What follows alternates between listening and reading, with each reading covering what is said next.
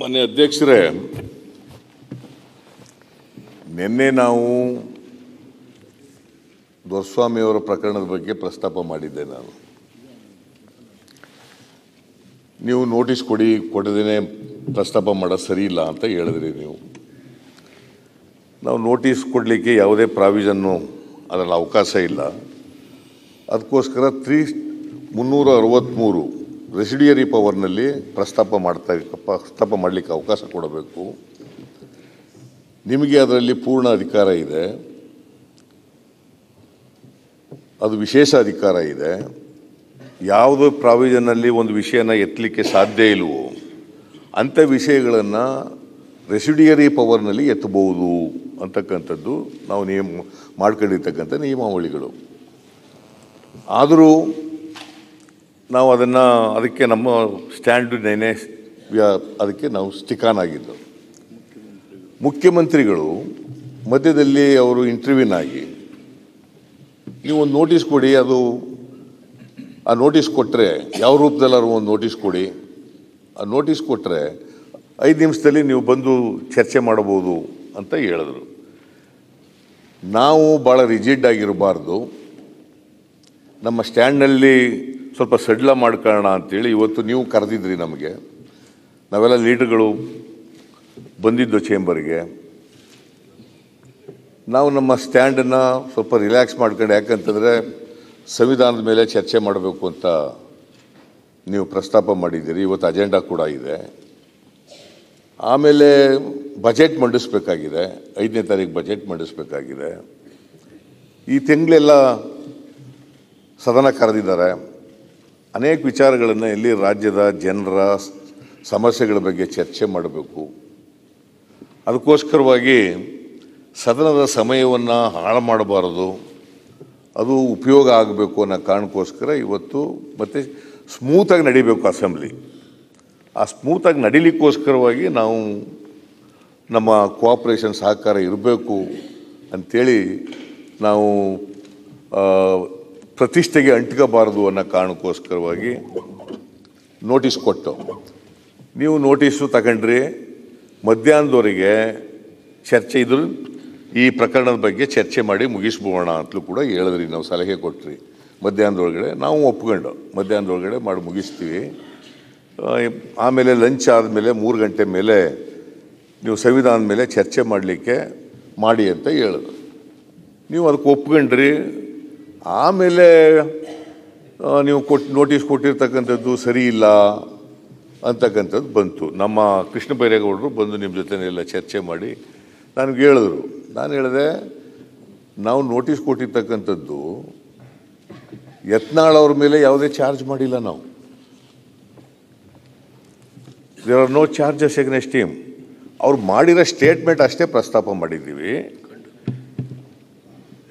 ಅದು ಬಿಟ್ಟು ಬೇರೆ ಏನು ಚಾರ್ಜಸ್ ಮಾಡಿಲ್ಲ ನಾವು. ಇಂಥ ಸ್ಟೇಟ್ಮೆಂಟನ್ನು ಇಂಥ ದಿನ ಮಾಡಿದ್ದಾರೆ, ಇಪ್ಪತ್ತಾರನೇ ತಾರೀಕು ಮಾಡಿದ್ದಾರೆ. ದೊರೆಸ್ವಾಮಿ ಅವ್ರ ಬಗ್ಗೆ ಅವರು ನಕಲಿ ಹೋರಾಟಗಾರ, ಪಾಕಿಸ್ತಾನದ ಏಜೆಂಟ್ ಅಂತ ಹೇಳಿದ್ದಾರೆ. ಅದ್ರ ಬಗ್ಗೆ ಮಾತಾಡಬೇಕು. ಇದು ಮಿಸ್ಕಾಂಡಕ್ಟ್ ಆಗ್ತದೆ it amounts to contempt of house ಆಗ್ತದೆ. ಇದ್ರ ಬಗ್ಗೆ ಸಂವಿಧಾನ ಕೂಡ ಹೇಳ್ತದೆ ಸ್ಪಷ್ಟವಾಗಿ. ಫಿಫ್ಟಿ ಒನ್ ಎ ಬಿನಲ್ಲಿ ಭಾಳ ಸ್ಪಷ್ಟವಾಗಿ ಹೇಳಿದ್ದಾರೆ ಅದು ವೈಲೇಟ್ ಆಗ್ತದೆ ನೀವೇ ಓದ್ ಕೊಟ್ಟಿದ್ದೀರಿ ಅವರಿಗೆ ಅಧ್ಯಕ್ಷೆ ಅವ್ರಿಗೆ ಓದ್ ಅಲ್ಲ, ಕೊಟ್ಟಿದ್ದೀರಿ ಅಲ್ಲ, ಒಂದ್ ನಿಮಿಷ ಮಾತಾಡಿ ಕೂತ್ಕೊಳ್ಳಪ್ಪ ಮಾತಾಡೋದೇ ಮಾತಾಡೋದ್ರೊಳಗೆ ಏನಿದೆ ಹೇಳಿ ಓದ್ ಯಾವ ಕೊಟ್ಟಿದ್ದೀರಿ ರೀತಿ ನೀವೇನೇ ಉಚ್ಚಾಟನೆ ಮಾಡೋದಕ್ಕೆ ಯಾವ ರೀತಿ ಉಚ್ಚಾಟನೆ ಮಾಡಕ್ಕಾಯ್ತದೆ ಯಾವ್ದ್ರ ಮೇಲೆ ಉಚ್ಚಾಟನೆ ಓದ್ ಮಾಡ್ತೀರಿ ನೀವೇ ಓದ್ ಯಾವ್ದ್ರ ಮೇಲೆ ಕೊಟ್ಟಿದ್ದೀರಿ ಉಚ್ಚಾಟನೆ ಮಾಡ್ತೀರಿ ಹೌಸಿನ ಹೊರಗಡೆ ಎಲ್ಲ- ಆರ್ಟಿಕಲ್ ಎಲ್ಲ- 188 ಎಲ್ಲ ಬೀದಿನಲ್ಲಿ ಮಾತಾಡಿರೋ ಈ ಔಷಧ ಅಂಥದ್ದು. Third schedule ಔಷಧ violate ಮಾತಾಡ್ತೀರಾ ಆಗುತ್ತೆ. ತಾವು? ಅವನ್ನ ಸಾಲ್ ಮಾಡಿದ್ದಾರೆ ಸನ್ಮಾನ್ಯ ಓದ್ ನಮ್ಮ ಅವ್ರಿಗೆ ಔಷಧ ಅಲ್ಲ ಅದು. ಔಷಧ ಮಾಡಿದ್ದಾರೆ. ಇದು? ಎಲ್ಲಿದೆ ಇದಕ್ಕೆ? ಅಂತೇಳಿ ನಾವು ಕೊಟ್ಟಿದ್ದೀವಿ. ಈ ಸದನಕ್ಕೆ ಒಂದು ಸಾಮಾನ್ಯ ತನ್ನ ಅದು ಸರಿ ಇಲ್ಲ. ನೋಟಿಸು. ಅವ್ರಿಗೆ ಇದೆ. ನೋಟಿಸ್ ಕೊಡಬೇಕು. ಎಲ್ಲ ಅಬ್ಜೆಕ್ಷನ್ಗಳನ್ನ ರೈಸ್ ಮಾಡಿ. ಇವತ್ತು ಇದನ್ನ ಚರ್ಚೆ ಮಾಡ್ಲಿಕ್ಕೆ ಮೇಲ್ಮನೆಯಲ್ಲಿ ಚರ್ಚೆ ನಡೀತಾ ಇದೆ. ಚರ್ಚೆ ನಡೆಯುವಾಗ ರವಿಕುಮಾರನ್ ಅವರು ಮಾನ್ಯ ಸದಸ್ಯರು. ಮತ್ತೆ ಹೇಳ್ತಾರೆ ಸ್ಪೀಕರ್ ಬಗ್ಗೆ ದೊರೆಸ್ವಾಮಿ ಅವರಿಗೆ ನೀವು ದೇಶದ್ರೋಹಿ ಅವರಿಗೆ ಧಿಕ್ಕಾರ ಅಂತೆಲ್ಲ ಹೇಳ್ತಾರೆ ಅಲ್ಲಿ. ನಿಮ್ ಬಗ್ಗೆನೇ ಹೊರಗಡೆ ನನಗನ್ಸುತ್ತೆ. ಸ್ಪಷ್ಟವಾಗಿ ಇದ್ರ ಹಿಂದ್ಗಡೆ ಸಂಘ ಪರಿವಾರ ಇದೆ. ಮಹಾತ್ಮ ಗಾಂಧೀಜಿಯವರ. ಅನುಯಾಯಿಗಳೇ ಮತ್ತೆ ಇದನ್ನು ಮಾಡ್ತಾ ಇದ್ದಾರೆ. ಹಿರಿಯ ಸ್ವಾತಂತ್ರ್ಯ? ಹೋರಾಟಗಾರರ ಚಾರಿತ್ರ್ಯ ವಧೆ ಮಾಡ್ತಾ ಇದ್ದಾರೆ. ಅವರನ್ನು ಅವಮಾನಗೊಳಿಸ್ತಾ ಇದ್ದಾರೆ. ಆರ್ ಎಸ್ ಎಸ್ ಅವರು ಹಿಂದ್ಗಡೆ ಇದ್ದಾರೆ. ಅವರು ಅವರ ರವಿಕುಮಾರ್ ಅವರ. ಗೋಷ್ಠಿಯನ್ನು ನೋಡಿದ ಮೇಲೆ. ಇದು ಸ್ಪಷ್ಟವಾಗಿ ಗೊತ್ತಾಗ್ತದೆ. ಇಲ್ಲಿ ಮಾತಾಡಲಿಕ್ಕೆ ಬಿಡಬಾರ್ದು. ಅದು ರೆಕಾರ್ಡ್ಗೆ ಹೋಗ್ಬಾರ್ದು. ಅವ್ರ ಮೇಲೆ ಕ್ರಮ ತಗೋಬಾರ್ದು ಅಂತಕ್ಕಂಥದ್ದು ಉದ್ದೇಶ ಎದ್ದು ಕಾಣಿಸ್ತಾ ಇದೆ. ಸರ್ಕಾರ ಇದಕ್ಕೆ ಅಡ್ಡಿ ಬರೆಸ್ತಾ ಇದ್ದಾರೆ. ಅದರಿಂದ ಅದರಿಂದ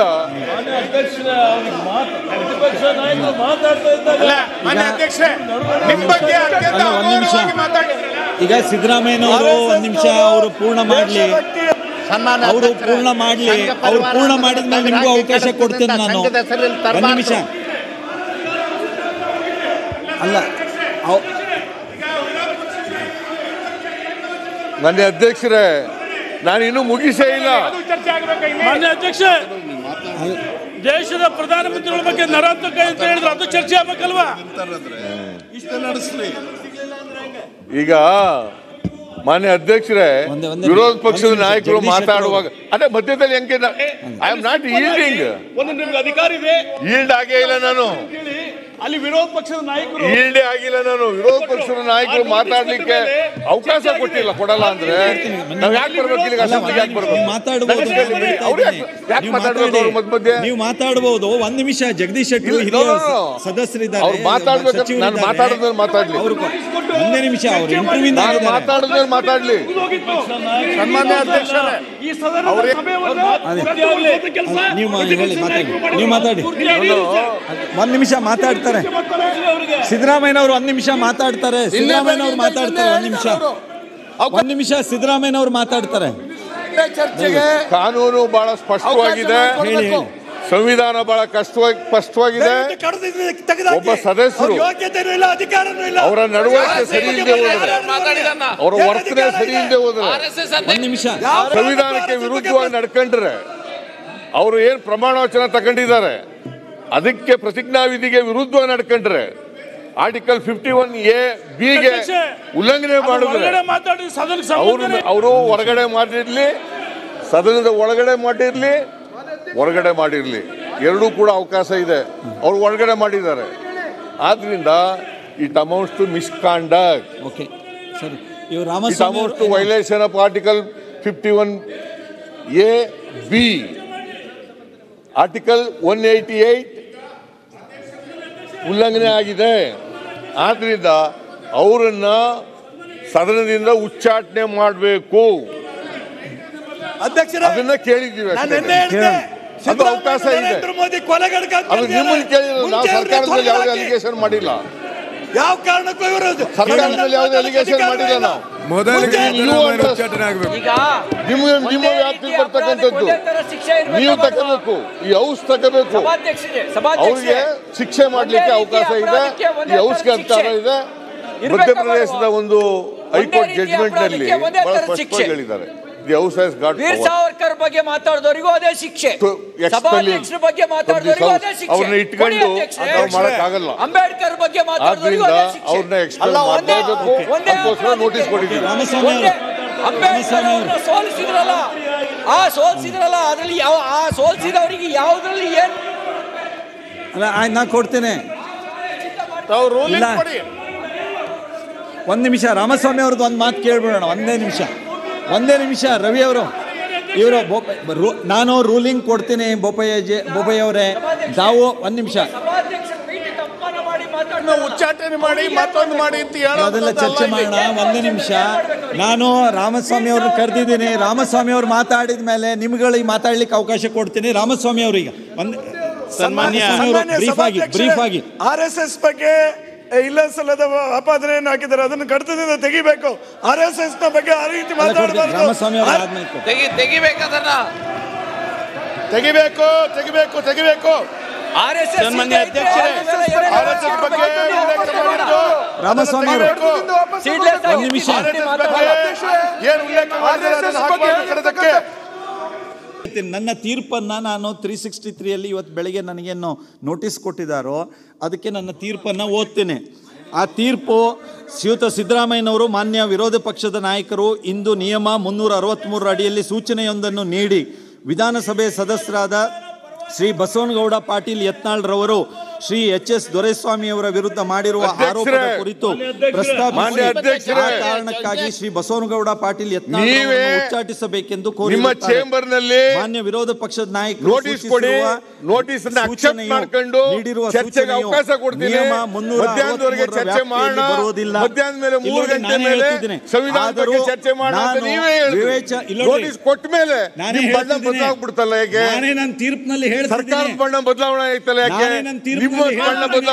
ನಾನೇ ಮನವಿ ಮಾಡ್ತೀನಿ. ಆದರೂ ನಾನು ನನ್ನ ವಿವೇಚನಾಧಿಕಾರ ಬಳಸಿ ಚರ್ಚಿಸಲು ಒಪ್ಪಿದ್ದೆ. ಆದರೆ ಈಗ ಅವರು ಸದನದ ಸದಸ್ಯರೊಬ್ಬರ ಮೇಲೆ ಮಾಡುತ್ತಿರುವುದರಿಂದ ನಿಯಮ ಮುನ್ನೂರ ಇಪ್ಪತ್ತೆಂಟರ ಮೇಲೆ ಸೂಚನೆಯನ್ನು ಕೊಡಬೇಕಾಗಿತ್ತು. ಮತ್ತು ಸೂಚನೆಯ ಪ್ರತಿಯೊಂದನ್ನು ಮಾನ್ಯ ಸದಸ್ಯರಿಗೆ ಹಾಗೂ ಸಂಸದೀಯ ವ್ಯವಹಾರ ಸಚಿವರಿಗೆ ಹೇಳಿದ್ರಿ. ನೀಡಬೇಕಾಗಿತ್ತು. ಸೂಚನೆಯಲ್ಲಿ ಪ್ರಸ್ತಾಪಿಸಿರುವ ಅಂಶಗಳು ಪತ್ರಿಕೆಯಲ್ಲಿ ಪ್ರಕಟವಾಗಿರುವ ವರದಿಯನ್ನು ಆಧರಿಸಿವೆ ಕೌಲ್ ಅಂಡ್ ಶಕದರ್ ಅವರ practice and procedures of the parliament ಪುಸ್ತಕದ ಪುಟ ಸಾವಿರದ ಇಪ್ಪತ್ನಾಲ್ಕರಲ್ಲಿ ವಿವರಿಸಿರುವ ರೀತಿ ರೀತಿಯ ಪತ್ರಿಕೆಗಳಲ್ಲಿ ಪ್ರಕಟವಾಗಿರುವ ವರದಿಯ ಆಧಾರದ ಮೇಲೆ ಮಾಡಲಾಗುವ ಆಪಾದನೆಯನ್ನು ಪ್ರಸ್ತಾಪಿಸಲು ಅನುಮತಿ ನೀಡುವುದಕ್ಕೆ. ಮಾನ್ಯ ವಿರೋಧಿ ಪಕ್ಷದ. ವಿಧಾನಸಭೆ ಸದಸ್ಯರಾದ ಶ್ರೀ ಬಸವನಗೌಡ ಪಾಟೀಲ್ ಯತ್ನಾಳ್ ಅವರ ಹೇಳ ನೀವು ಹೇಳ್ದಾಗ ಮಾಡಿದ್ರು ಕೂಡ ನೀವು ಕೇಳಲ್ಲ ಅಂತಂದ್ರೆ ಅವರಿಗೆ ಯಾವ ರೀತಿಯ ಶಿಕ್ಷೆಯನ್ನು ವಿಧಿಸಬೇಕು ಸರ್ಕಾರ ಏನ್ ಹೇಳ್ತದೆ? ಆ ಮಾಡ್ತಾ ನೀವು ಅಂತ ಸದಸ್ಯರಿಗೆ ಶಿಕ್ಷೆ ವಿಧಿಸುವ ಅಧಿಕಾರ ಮಾನ್ಯ ಸಭಾಧ್ಯಕ್ಷರು ಮತ್ತು ಸದನಕ್ಕೆ ಸೇರಿರುತ್ತದೆ. ಸೂಚನೆಯಲ್ಲಿ ಪ್ರಸ್ತಾಪಿಸಿರುವ ಸದನದ ಹೊರಗೆ ನಡೆದಿರುವ agree. ಭಾರತ ಸಂವಿಧಾನ ಐವತ್ತೊಂದು ವಿವರಿಸಿರುವ ಮೂಲಭೂತ ಕರ್ತವ್ಯಗಳ ಉಲ್ಲಂಘನೆಯನ್ನು ಮಾನ್ಯ ಸದಸ್ಯರು ಮಾಡಿಲ್ಲದಿರುವುದನ್ನು ಮಾಡಿಲ್ಲದಿರುವುದು ಕಂಡುಬರುತ್ತದೆ. ಈ ಹಿನ್ನೆಲೆಯಲ್ಲಿ ಮಾನ್ಯ ವಿರೋಧಿ ಪಕ್ಷದ ನಾಯಕರು ನೀಡಿರುವ ಸೂಚನೆಯನ್ನು ಪರಿಗಣಿಸಲು ಬರುವುದಿಲ್ಲ. ಆದ್ದರಿಂದ ಈ ಸೂಚನೆಯನ್ನು ತಿರಸ್ಕರಿಸಿದ್ದೇನೆ. ಈಗ ಮಾನ್ಯ ಪ್ರತಿಪಕ್ಷದ ನಾಯಕರು ನೀಡಿರುವಂಥ ಸೂಚನೆಯನ್ನು ನಾನು ಈ ಎಲ್ಲ ಕಾರಣಗಳಿಂದ ಅದನ್ನು ತಿರಸ್ಕರಿಸಿದ್ದೇನೆ. ಈಗ ನಾವು ಇವತ್ತು ಸಂವಿಧಾನದ ಮೇಲೆ ಚರ್ಚೆ ಇದೆ. ಸಂವಿಧಾನದ. ಕಾರ್ಯಕಲಾಪಗಳ ಪಟ್ಟಿ ಪ್ರಕಾರ ಸಂವಿಧಾನದ ಬಗ್ಗೆ ಚರ್ಚೆ ಇದೆ. ಸಂವಿಧಾನದಂತ ಶ್ರೇಷ್ಠ ಗ್ರಂಥದ ಬಗ್ಗೆ ಶ್ರೇಷ್ಠ ವಿಚಾರದ ತೀರ್ಮಾನ ಇದು. ಚರ್ಚಿಸೋದಕ್ಕೆ ನೀವೆಲ್ಲ ಸಿದ್ಧರಿಲ್ಲ ಹಾಗಾಗಿ ನಾನು ಮತ್ತೆ ಮತ್ತೆ ವಿನಂತಿ ಮಾಡ್ಕೊಳ್ತೇನೆ. ನೀವು ನಿಮ್ಮ ನಿಮ್ಮ ಸ್ಥಾನಕ್ಕೆ ಬಂದು ಕೂತ್ಕೊಳ್ಬೇಕು. ಸಂವಿಧಾನ ವಿಷಯವನ್ನ ಅವಕಾಶ ಮಾಡಬೇಕು ಅನ್ನೋದನ್ನ ಮತ್ತೆ ಕೇಳ್ಕೊಳ್ತೀನಿ. ನೀವು ಬಂದು ಕೂತ್ಕೊಳ್ಳಿ ಸಂವಿಧಾನ ವಿಷಯದಲ್ಲಿ ಚರ್ಚೆ ಮಾಡೋಣ. ಪಕ್ಷಪಾತದ ತೀರ್ಮಾನ. ಈಗ ನನ್ನ ತೀರ್ಮಾನ ತೀರ್ಮಾನ.